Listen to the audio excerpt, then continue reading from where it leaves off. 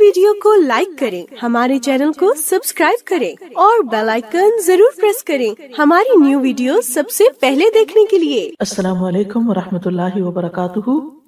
नहमदुहु व नुसल्ली अला रसूलिहिल करीम। अम्मा बाद।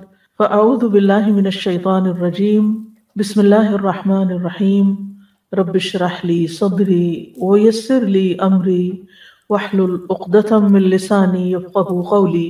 अलहमदिल्लामहमूद बजमी महामदी ताज़ीमन व तशरीफ़न व सनाअन अलमुतसफ़ी बसिफ़ातिलकमाल इज़्ज़ता व क़वता व किब्रियान व बहीन अमिल दफ़लकरूब शिद्दता व बलाअन हर किस्म की हम अल्लाह के लिए है, जो ताज़ीम बचा लाने और शरफ बख्शने और तारीफ़ के अतबार से तमाम तारीफ़ों के साथ तारीफ़ किया हुआ है।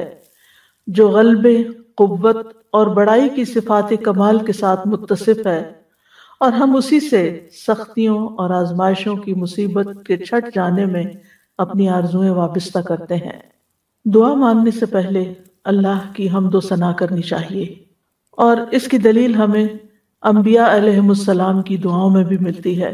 वो दुआ जिसके ज़रिए यूनुस अलैहिस्सलाम ने अल्लाह से मदद चाही और मुश्किल से निकले उसमें भी अल्लाह की तारीफ़ थी। ला इल्ला अंत सुबहानक। वो दुआ जिसके ज़रिए इब्राहिम आग से सही सलामत निकले, उसके अंदर भी अल्लाह की तारीफ़ थी। हसबी अल्लाह व नेमल वकील नेमल वकील, कितना अच्छा कारसाज है, अल्लाह की तारीफ़। वो दुआ जो नबी सल्लल्लाहु अलैहि वसल्लम तकलीफ़ के मौके पर मांगा करते थे, उसमें भी अल्लाह की तारीफ़ होती थी। ला हलीम, ला इलाहा इल्लल्लाहु रब्बुस समावाति वल अर्द व रब्बुल अर्शिल अजीम। तो हमें ज़िंदगी में ये उसूल बना लेना चाहिए कि जब भी हम दुआ करें, और ख़ास तौर पर वो दुआएँ जिनके कबूल होने के लिए हम बहुत डेस्परेट होते हैं तो सबसे पहले अल्लाह सुबहान ताला की तारीफ़ के कलिमात कहें। अल्लाह सुबहान ताला के खूबसूरत नामों के साथ अल्लाह को पुकारें और फिर उसके बाद दुआ मांगे। और दूसरी चीज़, दरूद शरीफ। सल्ली अला मुहम्मदिन व अला आलि मुहम्मदिन कमा सल्लैता अला इब्राहीम व अला आलि इब्राहीम इन्नका हमीदुम मजीद। अल्लाहुम्म बारिक अला मुहम्मदिन व अला आलि मुहम्मदिन कमा बारकता अला इब्राहीम व अला आलि इब्राहीम इन्नका हमीदुम मजीद। प्रोग्राम करीब मुजीब के सिलसिले में आज हम दुश्मन से हिफाजत की दुआओं के बारे में पढ़ेंगे। दुश्मन से हिफाजत। तो सबसे पहली दुआ सूरत अल मुमतहिना की दुआ है, जो इब्राहिम सलाम ने मांगी। इरशाद बारी ताला है ए हमारे रब, पर ही और तेरी ही तरफ़ हमने रुजू किया और तेरी ही तरफ़ लौटना है। ए हमारे रब, तू हमें उन लोगों के लिए फितना यानी आजमाइश न बना, जिन्होंने कुफर किया। और ए हमारे रब, हमें बख्श दे। बेशक तू ही बहुत ज़बरदस्त खूब हिकमत वाला है। ये दुआ इब्राहिम सलाम और उनके साथियों की दुआ है। जब उन्होंने अपनी कौम से इजहार बरात करते हुए कहा था, इन्ना बुरा मिनकुम व मिम्मा ताबुदून मिन दूनिल्लाह, कफरना बिकुम व बदा बैनना व बैनकुमुल अदावतु वल बगदाउ अबदन हत्ता तुमिनु बिल्लाहि वहदहु। बेशक हम तुमसे और उन तमाम चीज़ों से बरी हैं जिन्हें तुम अल्लाह के सिवा पूछते हो। यानी हम बुतों की इबादत नहीं करेंगे। अब जब उनके दरमियान ये इख्तलाफ वाक़ हुआ तो फिर उन्होंने कहा, हम तुम्हें नहीं मानते और हमारे दरमियान और तुम्हारे दरमियान हमेशा के लिए दुश्मनी और बुग ज़ाहिर हो गया। यानी इस बिना पर कि तुम्हारा दीन अलग हो गया और हमारा दीन अलग हो गया। हम तुम एक नहीं, लिहाजा इब्राहिम की कौम तो क्या खुद इब्राहिम के वालिद उनके दुश्मन बन गए थे? अब ऐसे मौके पर क्या करना चाहिए? जब अपने भी पराये हो जाएँ, जब अपने रिश्तेदार भी छोड़ दें अपने वालदेन छोड़ दें अपने बहन भाई छोड़ दें अपना कुंभा कबीला खानदान छोड़ दें अपने पूरा अपने मुल्क के लोग आपको आपसे दुश्मनी रख बैठे तो फिर इंसान ऐसे में कहा पना ले? रबना अलई का तवक्लना अपने रब की तरफ़ रुजू करे।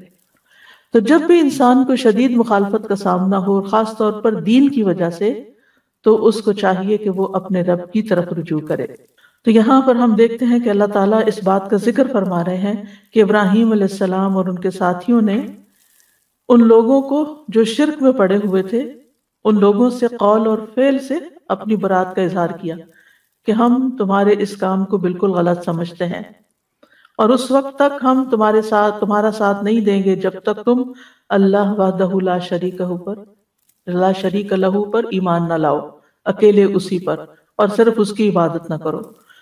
तो इसके बाद उन्होंने अल्लाह ताला की बारगाह में, अल्लाह ताला के अच्छे नामों के साथ, अल्लाह का वसीला, यानी अच्छे अच्छे नामों और अच्छे अमाल के साथ वसीला पकड़ा और अल्लाह सुबहान तला से दुआ की। तो इसमें आप देखिए कि एक तो अल्लाह सुबहान ताला पर वो तवक्ल कर रहे हैं और उसकी तरफ़ रुजू कर रहे हैं। अल्लाह ही तवक्लना ठीक है? और उसी की तरफ़ हमारा रुजू है। वह इलही का अनबना, और तेरी ही तरफ़ हम लौट कर आते हैं।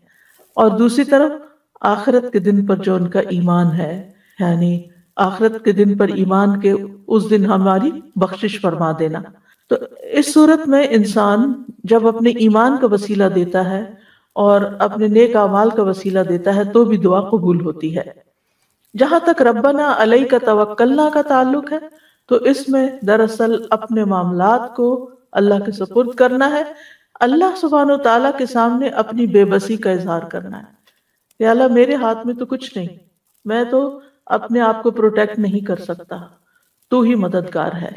लिहाजा हमारे तमाम कामों में तू हमारा वाली वारिस बन जा छोटे काम हो या बड़े काम हो, मैंने अपने तमाम मामला तेरे सपुर्द किए। और इसमें आप देखिए कि आगाज़ हो रहा है रब बना से।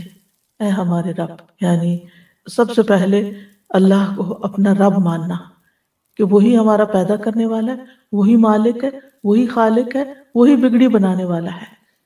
लिहाजा रब बना। और फिर वह इलई का अनबना, तेरी तरफ़ हम लौटते हैं, किसी और की तरफ़ नहीं जा रहे। हम मदद के लिए तुझे पुकार रहे हैं। हमें तेरी मदद चाहिए।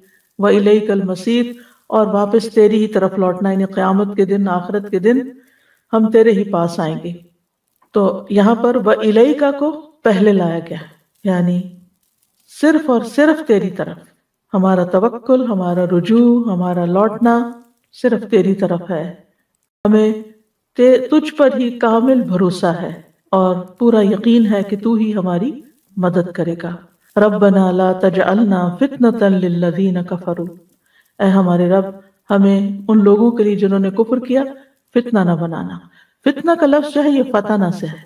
फताना का माना होता है सोने को आग में डालना, ताकि उसका खरापन, खोटेपन से ज़ाहिर हो जाए। यानी उसकी मैल कुचैल अलग हो जाए और खालिश सोना बाहर निकल आए। फिर इस लफ्ज का इतलाक जो है, वो आजमाइश और इम्तिहान पर होता है। कुरान मजीद में फितना कई मानों में इस्तेमाल हुआ है। फितना अजाब या सजा के मानों में भी आया है।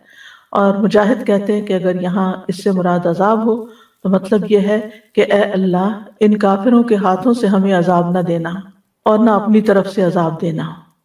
वरना लोग क्या कहेंगे कि अगर ये लोग हक पर होते तो बातिल परस्त इन पर गालिब ना आते।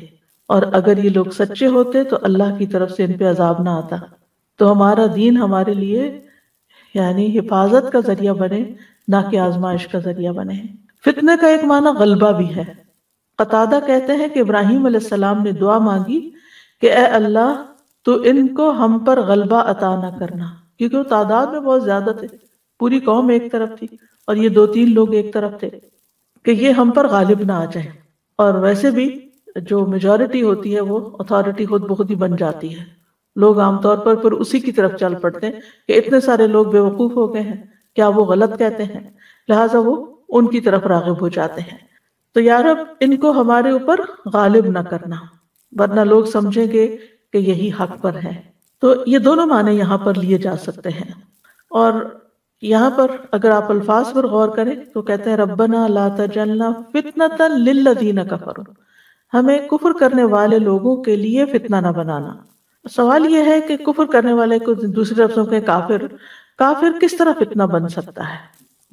काफिर दो तरह फितना बन सकता है। एक, फितने में डालने वाला और दूसरा, फितने में मुबतला, यानी होने वाला। तो मुराद यहाँ यह है कि काफिर हम पर मुसलत ना हो जाए, यानी वो फितना ना बने हमारे लिए, फितने में ना डाले, और फिर ये कि दीन पर अमल से ना हमें रोक दें। या ये कि हमें उनसे कोई खौफ ना हो। और इसी तरह मुसलमान, मुसलमानों के लिए काफिर फितना ना बने। यानी उनकी तरक्की देखकर, उनकी दुनिया की कामयाबी, उनके मालूम मता देखकर मुसलमान जो हैं, उनसे फितने में मुबतला ना हो जाए। यानी ना हम उनके लिए फितना बने और ना वो हमारे लिए फितना बने। यानी हम उनके लिए फितना कैसे बन सकते हैं? मगलूब होकर? या ये कमज़ोर होकर?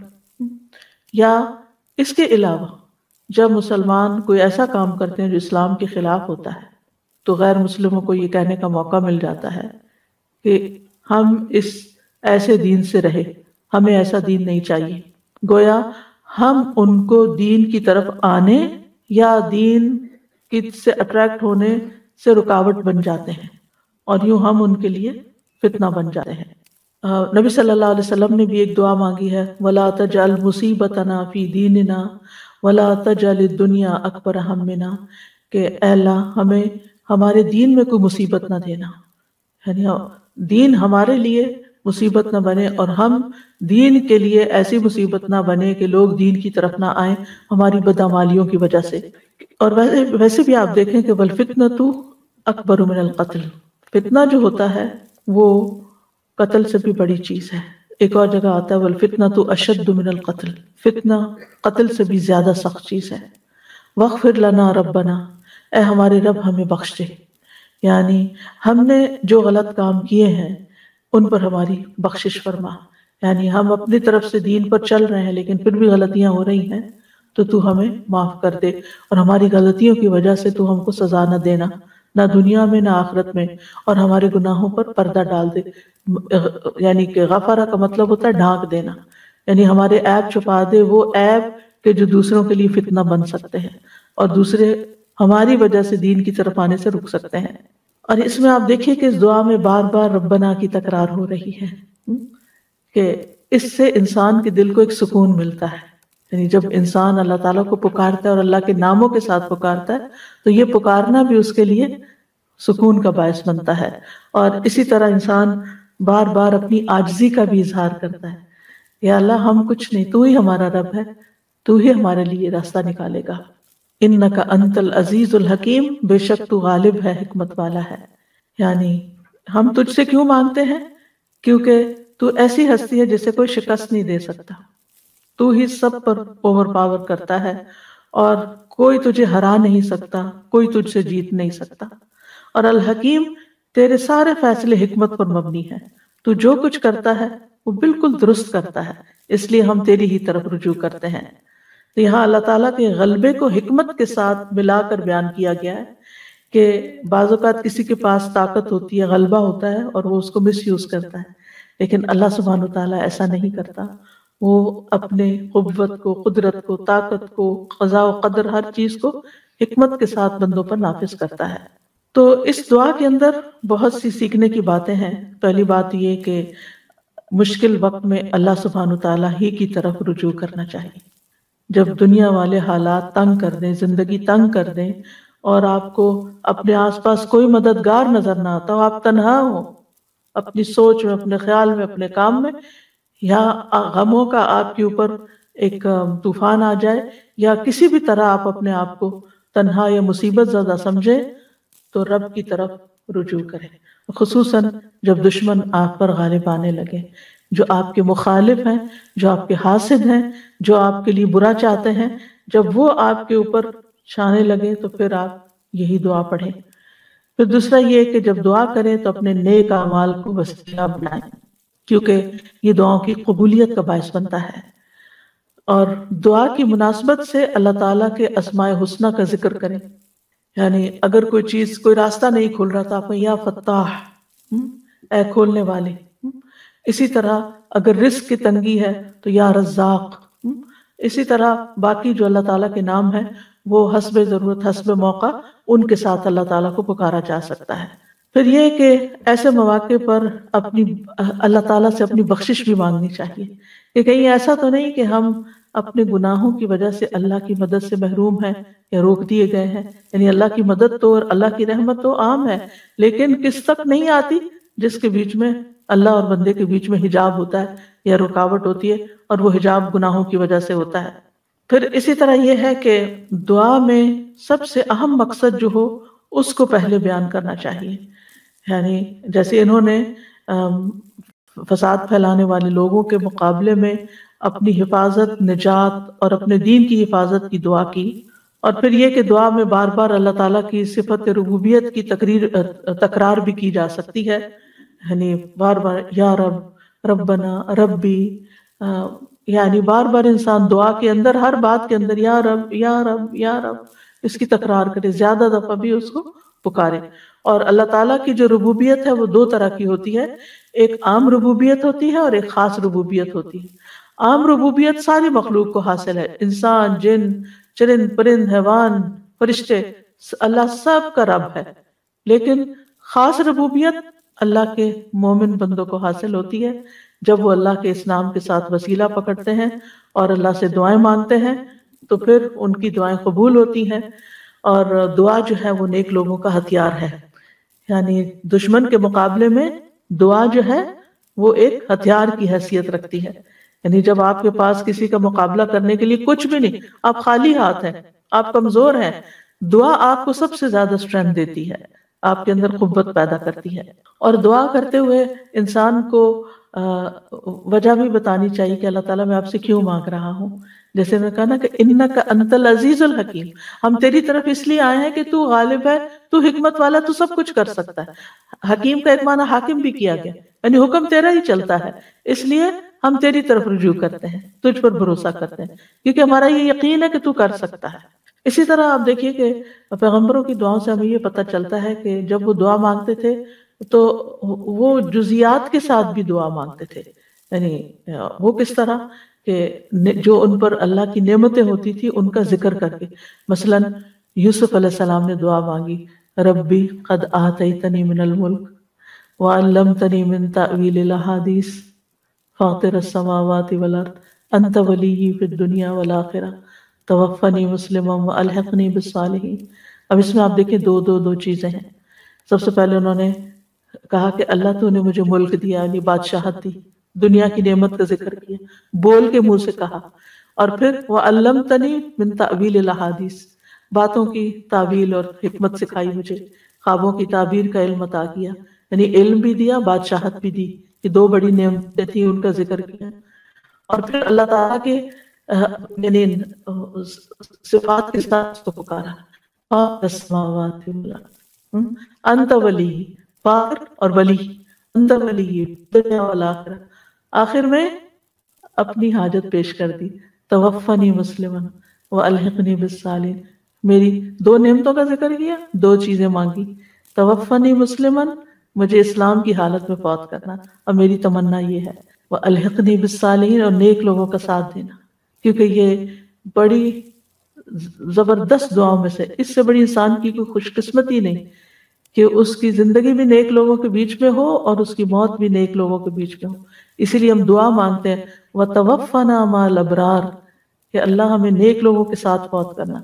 इंसान जब आखिरी वक्त में नेक लोगों के हाथों में होता है, वो उसको कलेमा पढ़वाएँगे, वो उसको अल्लाह का ज़िक्र करेंगे, वो फजूल फालतू बातें नहीं करेंगे और इस तरह उस शख्स का खात्मा खैर के साथ होगा। तो बहरहाल कहने का मतलब यह है कि कभी कभी जब दुआ मांगनी हो ना तो कहा कर, अल्लाह, तूने पानी पिलाया तूने मुझे ये चीज़ अता की, तूने मुझे ये इल्म दिया, मुझे सीखने का मौका दिया, मुझे सिखाने का मौका दिया। यार अब तो मुझे ये नेमत भी अता कर दे हम्म? और सबसे बड़ी नेमत के हुस्न खात्मा। ज़िंदगी जैसे भी गुजरे, आखिरी वक्त अच्छा होना ही खुशकिस्मती की अलामत है, कि खात्मा बिल खैर हो। तो यानी ये हमारी दुआओं में से खास दुआ होनी चाहिए। तो दुआ में इल्लत को बयान करना, नेमतों का ज़िक्र करना उन और उन नेमतों पर शुक्र अदा करना और फिर उसके बाद अल्लाह से मांगना, ये अल्लाह ताला को पसंद है। और फिर जो अल्लाह पे तवक्ल करता है, अल्लाह उसे काफ़ी हो जाता है। कुरान मजीद में आता है वमई तवक्ल अल्लाह हसबु जो अल्लाह पे भरोसा करता है, अल्लाह उसके लिए काफ़ी हो जाता है। और दुआ मांगने वाले को अल्लाह ताला के नाम भी आने चाहिए, अल्लाह ताला की सिफात का पता होना चाहिए। इसलिए अगर हम चाहते हैं हमारी दुआएँ कबूल हो तो हम अल्लाह ताला के असमा सिफात का इल्म हासिल करें क्योंकि वो अशरफुल उलूम में से है। यानी उस इल्म में से जो सबसे बेहतरीन और सबसे आला इल्म है। क्योंकि जिसने अल्लाह को पहचान लिया, फिर ही वो उसकी इबादत के अंदर उसका दिल लगेगा और मोहब्बत से इबादत करेगा, शौक से दुआ मांगेगा। फिर वो अल्लाह ताला के बारे में बदगुमानी नहीं करेगा। उसकी दुनिया और आखिरत दोनों अच्छी हो जाएगी। नेक्स्ट दुआ है। तो उन्होंने कहा अल्लाह ही पर हमने तवक्कुल किया। ऐ हमारे रब, तू हमें इन जालिम लोगों के लिए फितना ना बना, और तू हमें अपनी रहमत के साथ काफिर कौम से निजात दे।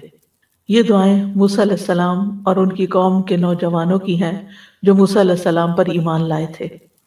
अल्लाह ताला ने मूसा सलाम को वाज निशानियाँ देकर फिरौन और उसकी कौम की तरफ़ भेजा था, जो बनी इसराइल पर बहुत जुल्म सितम कर रहे थे। लेकिन मूसा सलाम के वाज मोजात चमकता हाथ, असा का अजदहा बन जाना और दीगर मोजात देख कर भी और फिर खासतौर पर जादूगरों की शिकस्त खाने के बावजूद वो ईमान नहीं लाए, यानी फिर और उसके सरदार जो थे। सिवाय उसकी कौम के चंद नौजवान लोगों के। और दूसरी तरफ़ फिर का जुल्म और बढ़ गया, बजाय इसके कि वो मुझसे देख कर ईमान ले आता और ज़्यादा जालिम बन गया। तो बनी इसराइल ने मूसा सलाम से शिकवा किया कि आपके आने से पहले भी हमें अजियतें दी गई। हम समझते थे कि आप आए हैं, अब हमारी निजात होगी। अब फिर हमारे ऊपर फितना आ गया है, मुसीबत आ गई है। तो मूसा सलाम ने उनको सब्र और तवक्ल की तलकीन की कि अगर तुम वाकई मुसलमान हो और तुम्हारा ये दावा है कि तुम अल्लाह पे ईमान रखते हो तो फिर उसी पे भरोसा करो। वो ज़रूर तुम्हें निजात अता करेगा। मूसलाम की कौम के नौजवानों ने यानी मूसा सलाम की नसीहत को न सिर्फ़ ये कि कबूल किया, बल्कि उसके मुताबिक दुआ भी मांगी, जबान से भी इकरार किया कि हम सिर्फ़ अल्लाह ही पर तवक्ल करते हैं। और अल्लाह, हमें जालिम लोगों के लिए फितना ना बनाना कि वो हम पे गालिब आ जाए। और वो ये समझने लगे कि वो ही हक पर है, क्योंकि जालिम दुश्मन जब गालिब आता है तो वो समझता है कि मैं, वो अपने आप को जस्टिफाई कर ले अपनी कामयाबी को सबब समझता है, अब अपनी कामयाबी को वजह समझता है अपने हक पर होने की, कि मैं ही हक पर तो उन्होंने कहा कि यार अब हमें इनके हाथों अजाब न दे और इस काफिर कौम से निजात दे। तो यहाँ भी आप देखें, कितना फासला है जमानी इब्राहिम सलाम और मूसा सलाम के बीच में। लेकिन कितनी सिमिलैरिटी है दोनों पैगंबरों की तालीम में और उनके मानने वालों की दुआओं में। तो पैगंबर जो है वो अपनी कौम को हमेशा तवक्कुल का दर्ज देते हैं। और ये हकीकत है, अगर आप मुसलमान बन के जीना चाहते हैं ना तो ये पॉसिबल ही नहीं कि अल्लाह ताला की मदद के बगैर कर सके, क्योंकि दुनिया में बहुत मुश्किल हैं। घर के अंदर भी हैं, बाहर भी हैं, मुखालफतें भी हैं, बहुत कुछ है। तो जब आपका अल्लाह ताला के साथ एक मज़बूत रबता हो जाता है तो फिर आप बेखौफ होते हैं, फिर आप अमन में आ जाते हैं, फिर आप पुरसकून हो जाते हैं कि कोई है जो मेरे मामला को देख लेगा। इमाम इबन कय्यम कहते हैं कि अल्लाह पर तवक्ल करने की दो किस्में हैं। नंबर एक, दुनियावी हाजतों के हसूल और दुनियावी तकलीफों को हटाने में अल्लाह पर तवक्ल यानी दुनिया की कोई मुश्किल है तो उस, उसके लिए आप अल्लाह की तरफ़ रुजू करें। दूसरा है, अल्लाह की पसंद और रजा के हासिल करने के लिए अल्लाह पे तवक्ल करना। कि अल्लाह सुबहान तला की रजा हासिल करने के लिए अल्लाह की तरफ़ रुजू करना। अब इस चीज़ को हासिल करने के लिए जिसको अल्लाह पसंद करता है, यानी ईमान में तरक्की है, यकीन में इजाफा है इस्लाम की तरफ़ दावत है, इबादत को बेहतरीन तरीके से करने की तोफीक है तो ये सारी चीज़ें अल्लाह सुबहान तला ही की तोफीक से होती हैं। तो दोनों सूरतों में इंसान को अल्लाह काफ़ी हो जाता है। यानी जब बंदा अल्लाह पे तवक्ल करता है, जैसे कि तवक्ल करने का हक है तो अल्लाह उसको काफ़ी हो जाता है। और ज़रूरी नहीं कि अंजाम उस सूरत में हो जिसको आप पसंद करते हैं, बल्कि अंजाम उस सूरत में होता है जिसको अल्लाह पसंद करता है, जिसके साथ वो राज़ी होता है। तो मूसा सलाम ने अपनी कौम से कहा था कि तुम तवक्ल करो तो उन्होंने फ़ौरन बात मानी, फ़ौरन बात कबूल की कि हमने तवक्ल कर लिया, और यहाँ भी आप देखें कि दुआ में जितनी भी बातें हैं, उन सब में सबसे पहले तवक्ल ही की बात की तवक्ल को मुकदम रखा। रबना ला तजालना फितना कौम जालिमीन। ए हमारे रब, हमें जालिम कौम के लिए फितना ना बना। पीछे इसकी वजाहत हो चुकी है कि उनको हम पर मुसलत न करना, कि वो हमें तकलीफें पहुंचाएँ। यहाँ तक कि हमें हमारे दीन से फेर दें और हमें उनके लिए फितना ना बना, कि वो हमारी वजह से दीन से फिर जाएँ या दूसरों को दीन से फेर दें। और वो ये कहें कि अगर ये लोग हक पर होते तो हम पर मुसलत न किए जाते और हम इनको तकलीफ़ ना पहुँचा सकते। वनजना बिरहमत का मिनल कौमिल काफिरीन। और हमें अपनी रहमत के साथ काफिर कौम से निजात दे दे। हम इनसे बचना चाहते हैं, क्योंकि फिर का जुल्म बढ़ चुका था। अब यहाँ पर इन्होंने अल्लाह ताला की रहमत को वसीला बनाया है।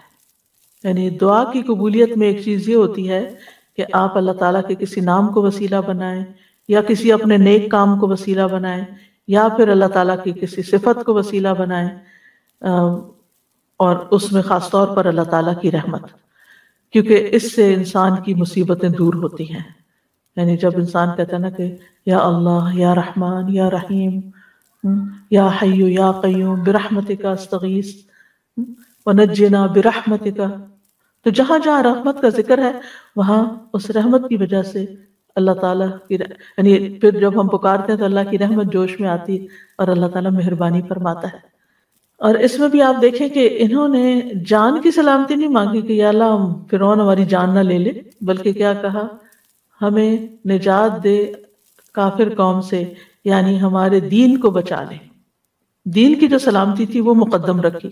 अगर जान बच जाती और दीन सलामत नहीं, जैसे कि आप देखें, कितनी ही जगहों पर आज के दौर में भी अगर आपको मालूम हो कि चाइना में मुसलमानों के साथ क्या हुआ, फिलीपीन में क्या हुआ, बर्मा में क्या हुआ के अलावा रूसी जो रियासतें थी पहले, मुसलमान थी, यानी मुसलमान मुसलमान रियासतों पर जब हमला हुआ, तकरीबन 20 लाख एक जगह पर मार दिए गए और जो बचे, उनको कोई इजाज़त नहीं थी कि वो अपने घर में कुरान भी रखें, या नमाज़ पढ़ें, या दाढ़ी रखें, या हिजाब पहने। स्पेन में मुसलमानों के साथ क्या हुआ? यानी यू नेम इट हम कभी शुक्र अदा नहीं करते इस अमन की नेमत का कि अल्लाह ने दीन और जान और ईमान सलामत रखा हुआ है। वरना आज के दौर में भी, इस सदी में और पिछली सदी में, अगर आप इस सारी तारीख का जायजा लें कि जहाँ जहाँ मुसलमानों पर जबर करके उनको उनके दीन से फेरा गया और जो नहीं माने उनको खत्म ही कर दिया गया। तो ये बड़ी अहम दुआओं में से है। वनजना बिरहमत का मिनल कौमिल काफिरीन। तो इस दुआ से हमें ये पता चलता है कि तवक्कुल जो है वो ईमान का तकाजा है।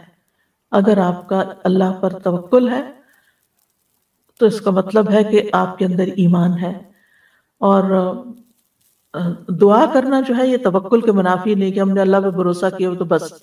नहीं, हमने भरोसा किया है, लेकिन उसके साथ हम अल्लाह की रहमत को, अल्लाह को पुकारते हैं, उसकी रहमत का वास्ता देते हुए। और दुआ में, रब्बना अल्लाह ही तवक्लना अल्लाह पर हमने तवक्ल किया।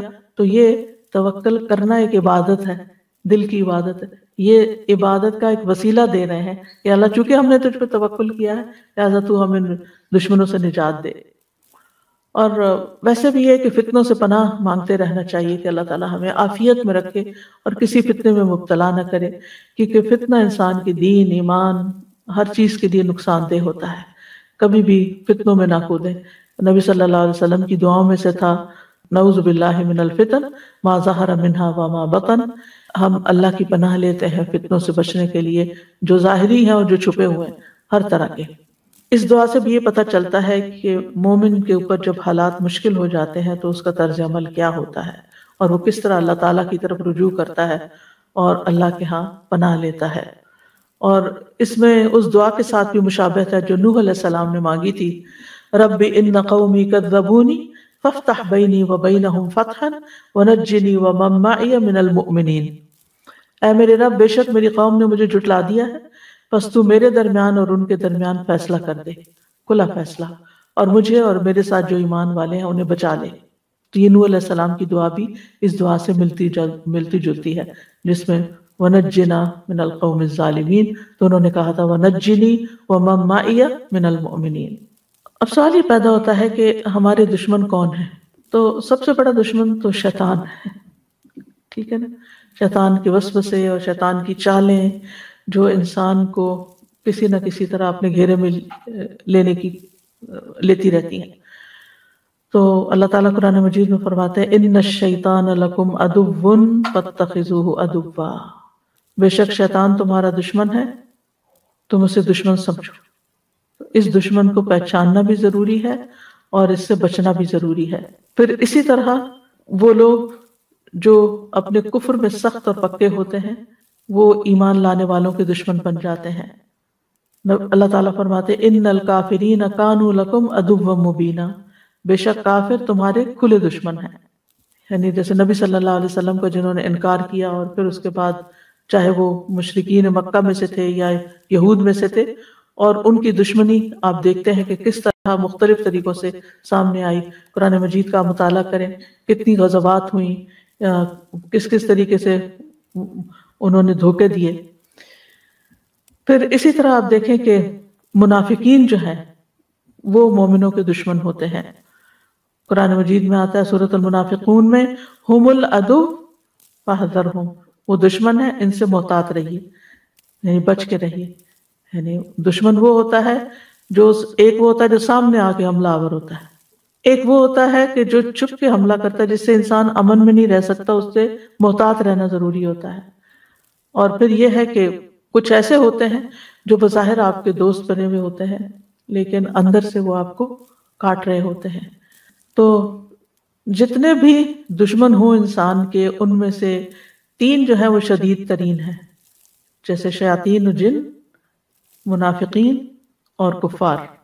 लेकिन इसके अलावा इंसान के घर में भी बाज उसके दुश्मन हो सकते हैं, जिसके बारे में सूरत तगाबुन में आता है इन मिन अजवाजिकुम व औलादिकुम अदुवल्लकुम फाहदरूहुम ऐ लोगों, जो ईमान लाए हो, बेशक तुम्हारे अजवाज और तुम्हारी औलाद में से बाज तुम्हारे दुश्मन यानी तुम्हारे अपने ही घर में तुम्हारे दुश्मन है। अब वो किस तरह के घर वाले उनसे तो हम बड़ी मोहब्बत करते हैं लेकिन बाज़त उनकी मोहब्बत हमें दीन से फेर देती है दीन से दूर कर देती है। उनकी मोहब्बत में बाज़ात हम गलत काम करने लगते हैं बाज़ात दूसरों पर जुल्म सितम करने लगते हैं। अब एक छोटी सी मिसाल है बहुत छोटी कि जैसे आ, सास बहू के झगड़े में चाहे बहू का कसूर हो या ना हो उसी को कसूरवार बना दिया जाता है और बेटा चाहे जालिम हो, चूँकि बेटा है, अपना है, लिहाजा यानी कि गैर मुनसिफाना तौर पर लोग उसका साथ देते हैं। अब वैसे तो आप बड़ी, अपनी मोहब्बत इसका इजहार कर रहे हैं, लेकिन आप एक गलत काम में, गलत चीज़ का साथ दे रहे हैं, अपनी आकबत बर्बाद कर रहे हैं। फिर इसी तरह आप देखिए कि बाजुकात इंसान उनके आराम, आसाइश और उनकी दुनियावी ख्वाहिशात को पूरा करने के लिए हराम हलाल में तमीज नहीं करता। और इस तरह वो हमारे, यानी हमारे निजात का सबब बनने के बजाय उल्टा मुसीबत का सबब बनते हैं। नाजायज कामों का इंसान इरतकाब कर लेता है। और इसी तरह अजवाज भी बाज़ात यानी कुछ शोहर रिश्वत नहीं लेना चाहते या गलत काम नहीं करना चाहते, लेकिन बीवियों के मुतालबात ऐसे होते हैं कि जिसमें उन्हें मजबूर होकर फिर हराम की तरफ़ कदम उठाना पड़ता है। और भी बहुत सी चीज़ें हो सकती हैं। बहरहाल, जो दुश्मन, सख्त तरीन दुश्मन है और जिनसे हर हाल में बचना चाहिए, जिसमें शैतान शातीन जिन्न इंस हैं, और ऐसे लोग जो आपके दीन के दुश्मन हैं, और ऐसे जो ऊपर से तो आपके साथ हैं, मगर अंदर से आपके जासूस हैं या मुनाफिक हैं या अंदर से वो मुखलिस नहीं है तो इन सब के मुकाबले के लिए सबसे पहला काम करने का जो है वो तवक्कुल है, कि इंसान इस चीज़ के पीछे ना पड़ा रहे तजस ना करता रहे, कौन मेरा दुश्मन है, कौन नहीं है, कौन मेरे साथ है, कौन मेरे इसमें ना पड़े। बल्कि क्या करे? अपना मामला अल्लाह के सपुर्द कर दे। फबस तो अमरी अल्लाह अल्लाह ताला अपने नबी को फरमाते हैं, या नबी ए नबी, आपके लिए भी और ईमान लाने वालों के लिए जिन्होंने आपकी पैरवी इख्तियार की, अल्लाह काफ़ी है। आप इनका मुकाबला नहीं कर सकते, लेकिन ये अल्लाह का मुकाबला नहीं कर सकते। जब इन, अल्लाह इनको पकड़ेगा तो फिर ये आपको नुकसान नहीं दे सकते। और जो अल्लाह पे भरोसा करता है, अल्लाह उसको काफ़ी हो जाता है। उसको फिर अल्लाह के सिवा किसी और की मदद की ज़रूरत नहीं रहती। और याद रखिए, तवक्कुल करने वाले को अल्लाह के इज़्न के बगैर कोई मखलूक नुकसान नहीं दे सकती। कुल्लसी बना इल्ला कतब अल्लाह लना हुआ मौलाना व अल्लाह फल मुमिनून। इनसे कहिए, हमें अगर कोई मुसीबत आएगी तो बस वही जो हमारे मुकद्दर में लिखी है। वही हमारा सरपरस्त है और मोमिनों को अल्लाह ही पर तवक्कुल करना चाहिए।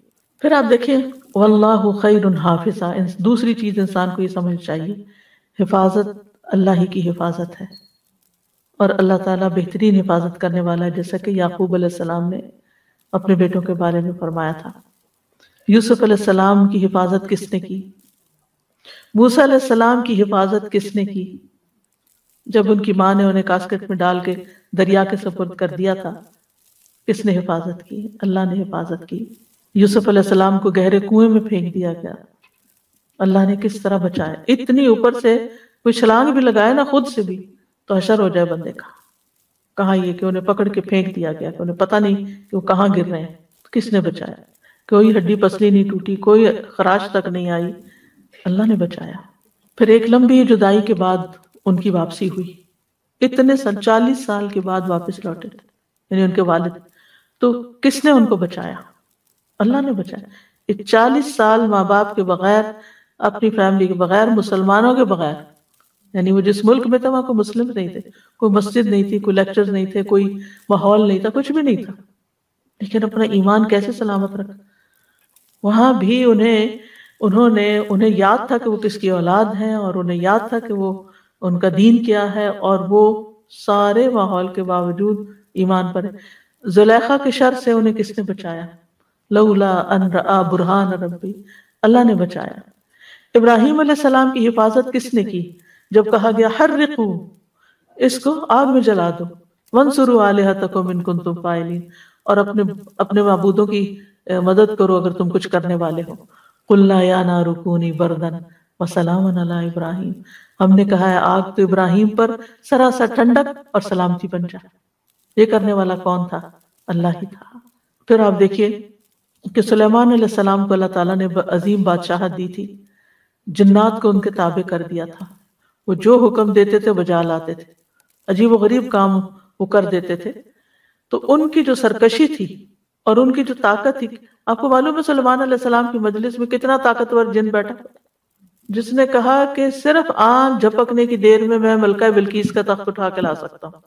इतने बड़े जिन को, या वो जो भी मखलूक थी, यानी आज तक को इतने साइंस एंड टेक्नोलॉजी तरक्की कर चुकी आज तक कोई ऐसी चीज़ ईजाद नहीं हुई कि जो इतनी देर में इतना बड़ा तख्त, इतनी दूर से उठा के आप तक पहुँचा दे। ठीक है, आपके अल्फाज एक जगह से दूसरी जगह चले जाते हैं, लेकिन चीज़ें नहीं जा रही इस तरह। शायद आइंदा कभी ऐसे हो लेकिन इतने ताकतवर जिन से सलमान सलाम को कोई खतरा नहीं था। हमें तो कोई सच्ची झूठी भी कह देना कि इस इमारत में जिन है, तुम्हारा खौफ से बुरा हाल हो जाए? लेकिन सलमान सलाम उनसे काम लेते थे और ताकतवर जिनों से काम लेते थे। फिर आप देखिए कि ईसा सलाम की हिफाजत किसने की? उनको किसने बचा के उठा लिया, जबकि रूमी सिपाही जो थे वो घेरा डाल चुके थे। बच निकलने की कोई सूरत नहीं थी। खुद रसूल अल्लाह सल्लल्लाहु अलैहि वसल्लम को गार में किसने महफूज किया था? अल्लाह तंसरूह फ़कत नसरहुल्लाह इज़ अखरजहुल्लज़ीन कफरू सानी यसनैनी इज़ हुमा फिल गार, इज़ यक़ूलु लिसाहिबिही ला तहज़न, इन्नल्लाह अल्लाह ने हिफाजत की थी। तो अल्लाह अपने बंदों की हर शर वाली चीज़ से हिफाजत करता है और हिफाजत और प्रोटेक्शन अल्लाह से मांगनी चाहिए। पिछले दिनों एक किस्सा सुनने का इत्तेफाक हुआ। उसकी सदाकत तो अल्लाह ही बेहतर जानता है, लेकिन जो शख्स बयान कर रहा था वो बहुत ही यकीन और सदाकत के साथ कि किस तरह अमेरिका में तबलीग, एक तबलीगी जमात आई और वो पैदल जमात थी तो वो कहीं ना कहीं किसी खुली जगह टेंट लगा लेते थे रात को और फिर कभी मस्जिद में और लोगों को इस्लाम की दावत देते थे। तो वो कहते हैं कि वो एक चर्च के बाहर जो पार्किंग लॉट होती है, वहाँ उन्होंने खैमा लगा ली। तो ये जो नरेट कर रहे थे फ़र्स्ट हैंड स्टोरी ये कहते हैं कि मैंने जब देखा तो मैं सख्त परेशान हो गया क्योंकि वहाँ का कानून ये इजाज़त देता है कि अगर कोई ट्रेस पास करे या कोई आपकी प्रॉपर्टी में बगैर इजाज़त के आके बैठ जाए तो आप उस पर गोली चला सकते हैं। तो कहते हैं कि जब जो ही मुझे पता चला तो मैं, मेरी टांगे काँप रही थी और मैं फ़ौरन पहुँचा कि आप जल्दी यहाँ से उठे, वरना आपकी जान खतरे में है। कहते हैं कि जो उनका लीडर था वो बड़े सुकून इतमान के साथ बैठा रहा मुस्कुराता रहा और उसने कहा कि आप भी आए बैठे खाना खाएँ कुछ नहीं होता। अल्लाह की ज़मीन है और हम इस पे बैठे हैं। तो खैर उसके बाद ये हुआ कि वही बात हुई कि तीन चार ट्रक आ गए बहुत सारे लोग आ गए। उन्होंने गोली, गोलियाँ बरसानी शुरू कर दी। और ये जो साहब थे अंदर, ये देखने वाले भी और जो जमात थी, उन्होंने सिर्फ़ ये दुआ पढ़ी, वजालना मिन बैनी अयदीहिम सद्दम मिन ला युबसिरून. कहते हैं कि सारी गोलियाँ कहीं और ही चली गई, एक गोली उन पर नहीं पड़ी। फिर आखिर वो उतर के आए वहाँ अंदर और देखा कि ये क्या हो रहा है तो उनको तो एक तरह खराश भी नहीं आई। तो कहने लगे कि ये क्या मामला है? तो उन्होंने कहा कि यहाँ क्यों हो तुम? कहा कि हम इस तरह मुसाफिर हैं और हमने अपना खैमा यहाँ लगाया है। तो बार वो सारा किस्सा पूरा ये हुआ तो वो बहुत ज़्यादा मरूब हुए। पता नहीं फिर मुसलमान हुए या नहीं आगे की मुझे कहानी नहीं मालूम लेकिन आ, वो इस बात पर बहुत ही हैरान थे कि हम तो ये देखने आए कि जो अंदर लोग हैं वो मरे भी हैं कि नहीं। तो यहाँ तो एक भी नहीं कुछ भी नहीं हुआ किसी को। तो यानी आज के दौर में भी बाज़ इस तरह के वाकयात हो जाते हैं कि कोई बच्चा हो आखिरी मंजिल से ऊपर कई स्टोरी से गिरता है और वो बिल्कुल सही सलामत होता है और यानी बचाने वाला अल्लाह है। तो अगर किसी भी खौफ और दहशत के मौके पर आप पूरा भरोसा अल्लाह पे कर ले, अल्लाह को पुकारे, और मछली का किस्सा जो यूनुस सलाम का वो तो सब जानते हैं कि मछली के पेट में जाके बाहर निकलना और रिसेंटली भी एक वाक्य पेश आया उसके तो बल्कि मैंने क्लिप भी देखा था कि किस तरह वो अंदर से उसको निकाला गया इंसान को। यानी हम अगर, आप देखिए कि इस वक्त भी हमारे आसपास बहुत से खतरात हो सकते हैं। हम कहीं चल रहे हैं, हम कहीं सफ़र कर रहे हैं, हम, हमें तो पता भी नहीं होता कि किस किस तरह अल्लाह सुबहान ताला हमारी जान बचा देता है, किस तरह हिफाजत करता है। जब हम सो जाते हैं, हमें कुछ पता होता है हमारे पास कौन सा कीड़ा मकोड़ा चल रहा है, लेकिन किस तरह एक निज़ाम के तहत उसने हमारे कानों को प्रोटेक्ट किया हुआ है कि अंदर जो वैक्स है वो इतनी कड़वी है कि कोई कीड़ा मकोड़ा अंदर जाने की हिम्मत नहीं करता।